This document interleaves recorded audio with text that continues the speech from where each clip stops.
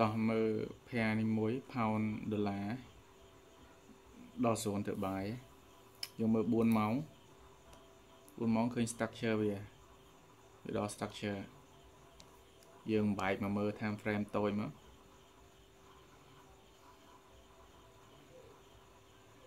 time frame តូចឥឡូវវាចុះមកជា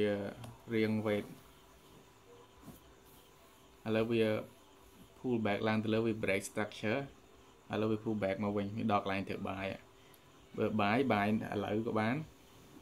បាយចំណុចហ្នឹងទៅហើយ SL នៅក្រោមនេះមកហើយ TP យើងដាក់ខ្លួនឯងមកយើងចង់បានមួយយកមួយមួយយកពីរឬក៏យើងដាក់នៅលើនេះក៏បានដែរយើងដាក់នៅលើកពូនេះក៏បានដែរអាហ្នឹង pound ដុល្លារយើងមើល time frame មួយទៀតមើលអូខេបាយត្រូវកន្លែងនេះ បើ pound yen pound yen ដើរមួយ pound ដុល្លារដែរវេទនាតែមួយគ្នាយើងមើល4ម៉ោងវាដល់ structure ដូចគ្នា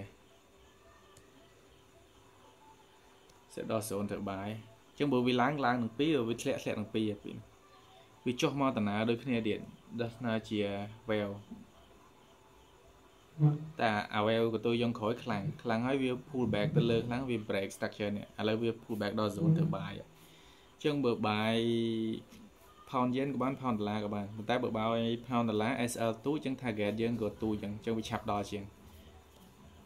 តែចង់បាយទាំងពីរក៏បានតែវា pair វាតែមួយយើង